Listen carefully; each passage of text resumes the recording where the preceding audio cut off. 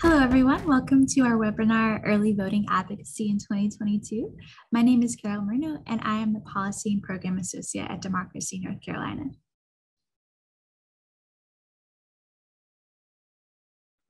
Hi, everyone. My name is Aja Bullock, and I'm the Organizing Program Associate here at DMC. Uh, my name is Marquez Thompson. I am the lead regional managing organizer in these. And my name is Grace Prawn, and I am the MSW Advocacy Fellow.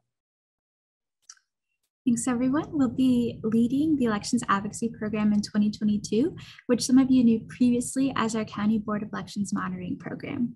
This training is designed for election advocates like you who are ready and willing to organize in your county to win robust early voting sites, days, and hours for the 22 primary election currently scheduled from April 28th through May 14th. However, the resources and information we provide can also be used for future advocacy efforts targeted at the 2022 general election in November. Democracy North Carolina is a nonpartisan organization, meaning people from all political affiliations or none who want to actively work to improve early voting options for the communities and counties can do so by following some of our recommendations. The more people who fight for early voting, the more likely we are to win good early voting plans, and the more options we have to vote, the more all voters win. Many counties are already in the process of establishing their primary early voting plans, meaning that the time for doing this work is right now. We have learned from past election years that many early voting sites are established that are established in the primary are often carried over to the general election. And in 2022, we consider it to be a very important year um, because it's a midterm election. So we're very grateful for the support that you all are giving us and this important advocacy work. All right, so now for the reason that we're here. The reason we're doing this webinar is simple, to prepare you to win better early voting plans for your county. So what we're going to do is we'll lay out our broader strategy to protect and expand the right to vote in 2022 and help build community influence, people power over how local elections are run in the years to come. Through this webinar, you will one, understand DMNC statewide strategy for early voting advocacy, two, understand the process for deciding early voting plans, and three, mobilize around action steps for winning strong early voting plans and we'll lay out why early voting is so important to North Carolina. As we continue to face an uncertain pandemic with rising COVID cases and a growing number of variants, it is important to, that we ensure early voting plans consider adequate space for social distancing. Thank you, Aja. To start us off, we'll go over why early voting matters. Early voting has been crucial to increasing voter turnout in North Carolina, and if we want more people to participate in elections, we have to use and expand early voting reforms like same day registration.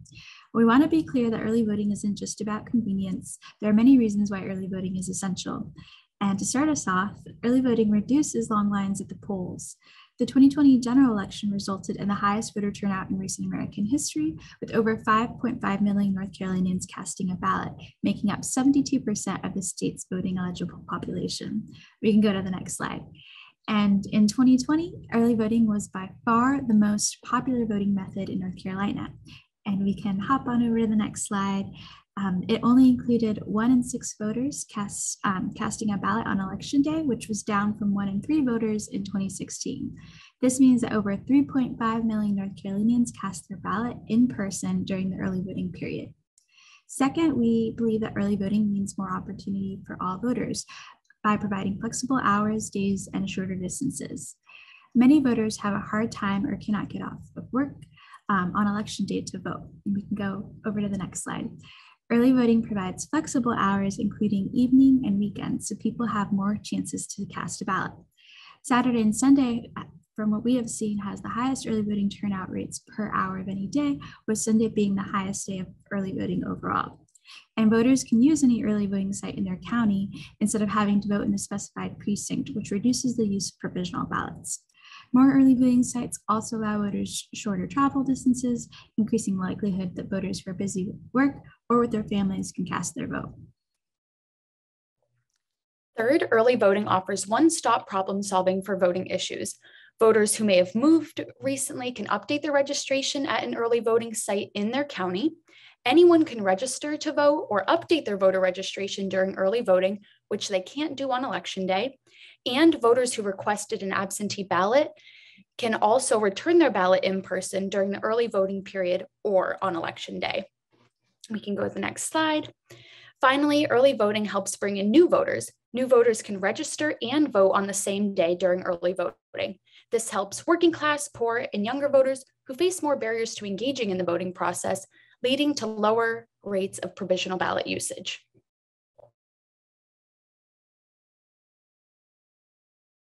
So how do we do it? How do we win strong early voting plans? Well, to win, we have to, number one, have a goal, make our own plan. Uh, number two, understand how decisions are made. Number three, show up and take action together. For the 2020 primary, for example, Democracy North Carolina prioritized uh, pushing for strong early voting plans in over a half, that's 54 North Carolina counties, that not only accounted for the vast majority of voters in the state, but also had important weekend hours, campus posts, and sites that served underrepresented groups on the line. So all these wins we achieved are worth defending again this year. For the 2022 primary election, we are monitoring early voting plans in 25 counties, and we are prepared to support you in advocating for better plans within your county. You can find a sample of past letters Democracy NC has sent to counties with research and suggestions at demnc.co slash EV letters. Now, while we've narrowed our focus to where we have capacity to support this campaign, please know that all 100 boards of elections create early voting plans and deserve strong advocates like you. Regardless of where you live in the state, we highly encourage you to organize in your county. All right, so over the course of this presentation, you've heard us say a few times now that Democracy North Carolina is pushing for good or better or robust early voting plans. But what do we mean by good early voting plans? So that includes convenient voting locations for young and student voters in the surrounding community. Youth access is extremely important. It includes robust weekend voting hours over the 17 day period, which includes multiple Saturday and Sunday voting options. Satellite voting locations that can serve historically underrepresented voters, including Black voters and other communities of color, and where possible, larger voting centers that will allow voters and poll workers to safely distance. At the same time, we're pushing for more access. We also want to remember that turnout in 2022 will not be as high as a presidential election, but given that it is a midterm year, it will be higher than the 2021 election. We need to be aware of this difference in election cycles when advocating for early voting hours and sites and when reviewing plans this year. Yeah, now we said before that now is the time for this campaign we want to stress this urgency because right now, early voting uh, for the 2022 primary has already begun. The, uh, the plans for this. And with plans due to the State Board of Elections of February 18th, we expect that some counties will begin preparing their early voting plans for the general election as early as June. And we'll be asking you to help us monitor that process later in the year. So here's an example of how it works in a county where all the typical asks come to play.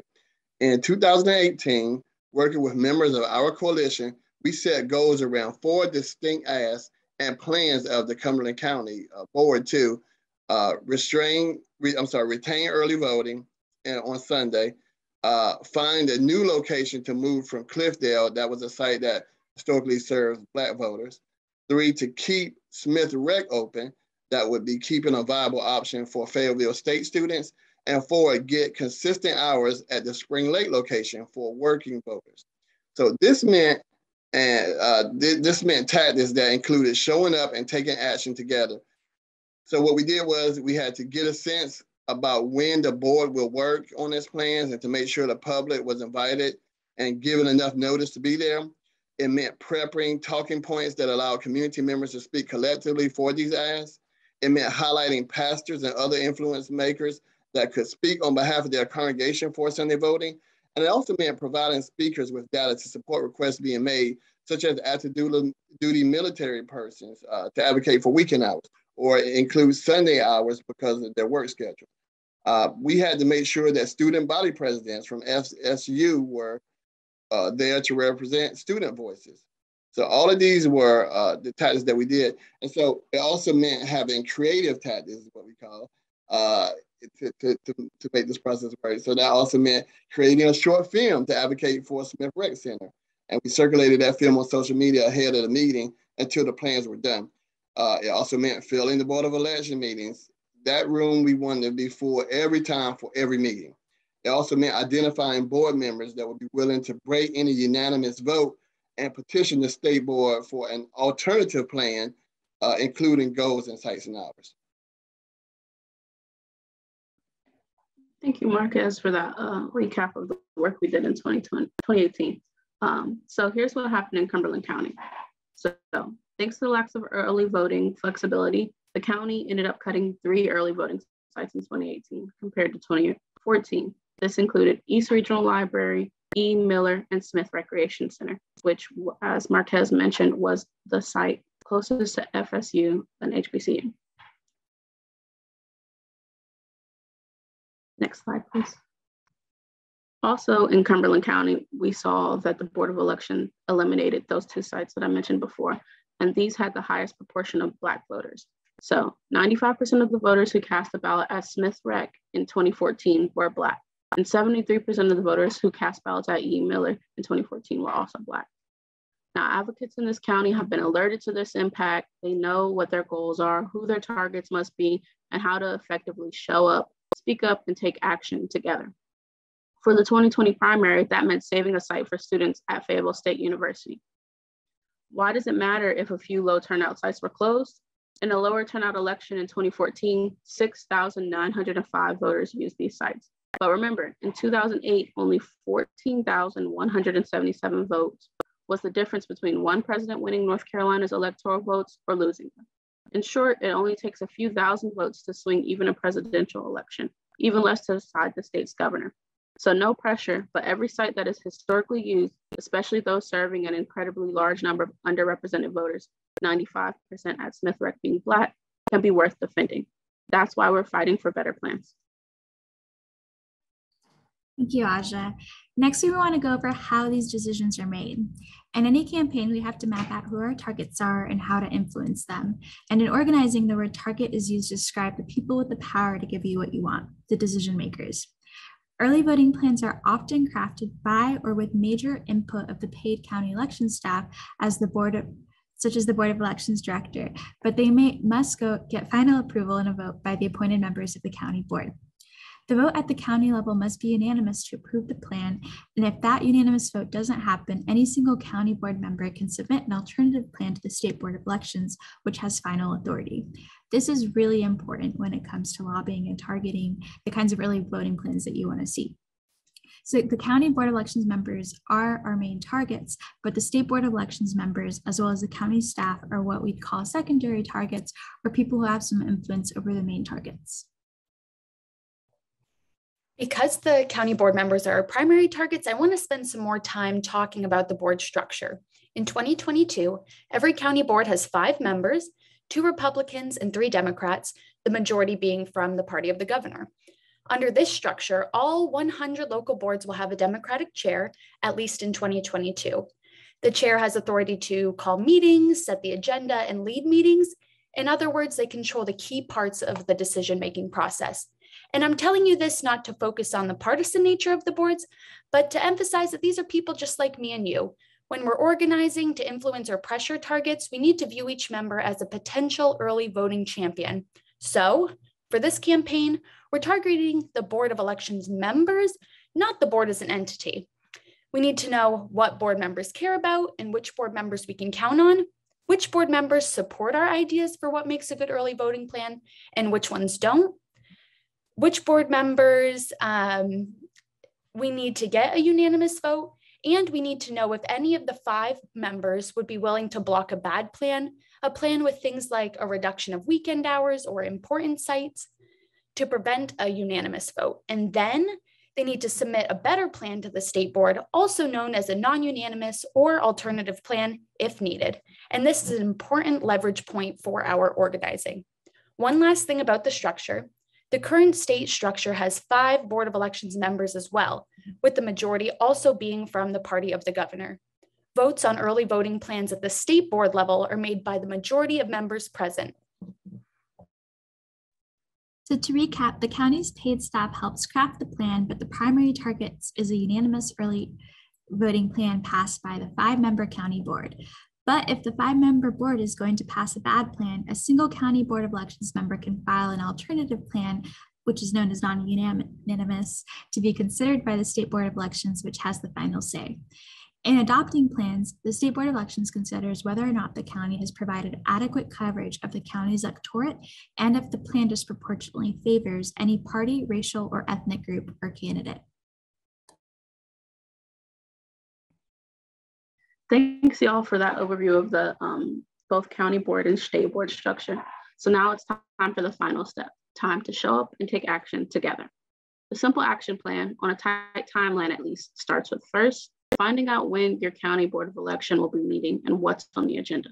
You can do that by calling ahead to confirm meeting times and seeing if there's any virtual options. Lucky, lucky, luckily for you, we've done a lot of this already and you can access it via our Airtable calendar that will be shared with you. After doing that, you'll also want to find out when the meeting is and if there's a preliminary early voting plan being discussed, and if possible, request access to see it beforehand. Finally, you want to find out if the county will provide public comment opportunities either via virtual or in-person meeting. Now, all of that, after all of that, you want to continue to gather intelligence. So that includes contacting one of the County Board of Elections members or the executive director or any other staff member that you may have a relationship with. Remember, early voting advocacy is year-round work. Ideally, we get to know our board members by attending meetings when early voting is being discussed and when it's not. So you want to ask them, again, what preliminary plans exist for early voting sites? What's the schedule and process for making a decision? Will they consider or support opening early voting sites on a Sunday? And what would persuade them to open sites for Saturday hours and or Sunday?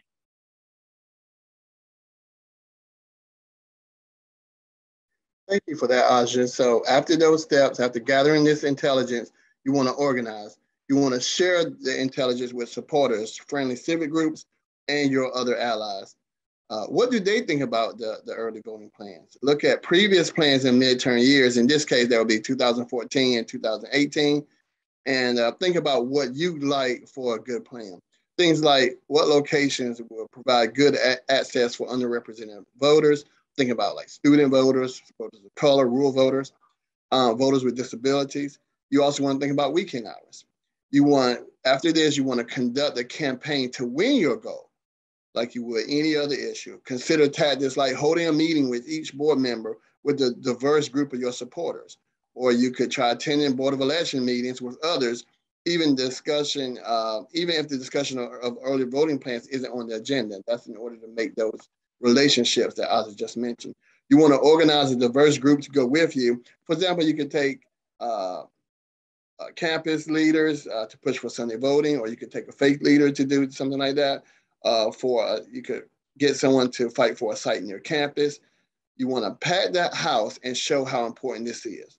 Speak out about the importance of adding or defending weekend voting hours, especially if the county had had them previously. Uh, coming back to a point that I have made briefly about early voting and election cycles, it's important not to advocate for too many additional hours or sites unless you're confident that they will be used, since poor use can set a bad precedent, especially in a year with tight election budgets. So that will make it harder to advocate for additional sites and hours in the future. So we want to rely on the expertise of your community members and the research that we provide uh, to figure out what are the best sites and hours to be fighting for. Keep following the process. County Board of Elections are required to announce their meetings ahead of time and agenda, including any discussion of or vote regarding the early voting plan. The discussion and vote should be held in a public meeting, so keep showing up. Ask the staff to include you on the email or media list for all notices of meetings by the time of the vote, you should have a good sense of uh, what will happen based on your intelligence gathered. Stick with it until the end, as if your county plan goes to the state board of elections with a unanimous plan, unanimous plan, plan to follow that process too. Grace. And the very last thing you want to do is report back to us. We have a Google reporting form that we ask you to fill out after interactions with Board of Elections staff or board members or attendance at Board of Elections meetings. The more we know what's happening, the better strategic advice and support we can offer you. We want to communicate, we want communications to be a two-way street. We'll send you information and we need you to send us information too. You can find our reporting form at demnc.co slash BOE report form. Thanks, Carol.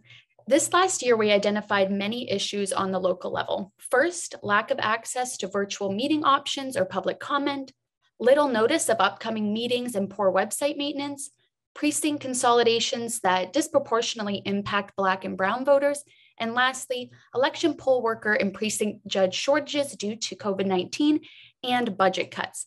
No one knows what the future will hold, but we can all agree that all public Board of Elections meetings should be open and accessible to the public and public comment. If your County Board of Elections tells you that they are not offering a virtual meeting option, please tell them that they should and encourage other advocates to do the same and let us know if they don't or won't. Our report form includes an area for pre-meeting intelligence, so let our experts know if and when your county denies meeting notices or email us directly at elections at democracync.org. That said, we're here to help. Democracy NC and our partners are also happy to connect you to our regional managing organizers and additional advocates working in your region. We can also answer any questions you may have pertaining to the early voting process and provide you with background data and research on counties in our priority regions. Currently, we have in-depth profiles on 25 of our priority counties that we can provide to you, as well as a quick data analysis on how a site might impact certain communities within our target regions it may seem like a lot, but I want you to understand that we can do this, y'all. We have had great success with this kind of concerted early voting advocacy in the past. Against insurmountable odds, we successfully defended Sunday voting options in 2016, and we garnered a record number of Sunday options in the 2020 primary. We also helped defend campus sites and increase weekend hours, despite pressures created by burdensome uniform weekday hours uh, last year. So when you're feeling dejected, just remember the lesson of 2016 in Guilford County, when 300 people working together packed their board of elections, pushed back against partisan attempts to limit early voting options, and it worked. It set in motion a movement that in the presidential election that year touched over 70 counties. Guilford made sure that nothing bad was passed in the darkness, and more importantly, that nothing bad passed at all. Good early voting plans can be one packed meeting room away. Thanks for sharing that story, Marquez. So we can do this, and here's the next steps to get there. As a reminder, our resource resources can be found at demnc.co slash elections advocacy, which will be included in all of the other resources we mentioned. You'll also want to begin or continue connecting with others in your counties to help you make a plan and review prior, prior plans let us know if you need help connecting with others in your county. As we mentioned, we may know some folks who are already taking action. Make, you also want to continue attending meetings. Many of those meetings will be listed on our Airtable tracker, but to find out, to find your county, also visit our local election advocacy hub, demnc.co slash election advocacy. Democracy North Carolina has 25 counties that will be monitoring and supporting early voting campaigns. If your county is among them, we will do our best to keep you updated and connected via email communication. Regardless, we hope you'll self-organize using the resources we've provided and we'll provide to you after this webinar. I really want to emphasize that you can do this. We provide tools, research, and support, but this is our democracy and these are your communities. So as I mentioned again, find out when your BOE meetings are, start attending them. Stay tuned for even more tips and tools by getting our emails. And last but certainly not least, you have our hub link demnc.co slash elections advocacy where you can have all the training materials that will be available. For all else, feel free to contact us. Um, Carol's phone number and my phone number up there, along with the email that you can reach any of us at. So thank you for viewing our training. Thanks to all of my co-facilitators. Um, yeah, let's let's let's get these good early voting plans. See ya. Thanks, everyone.